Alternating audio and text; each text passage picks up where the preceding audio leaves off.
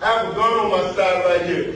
Just this week, at the beginning of the week, a young boy, not even 16 years old, was killed because he was playing with a gun. And see, this is an unloaded gun. Right here, this is the gun. No, empty weapon. Empty weapon. This is a Glock 40.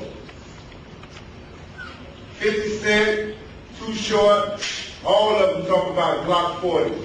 Okay, I'm the only one in this room professional enough that I know of to carry this Glock 40. I'm the only one. Like, no, all right. Is everybody all right? You all right? Stop this shit. Walk.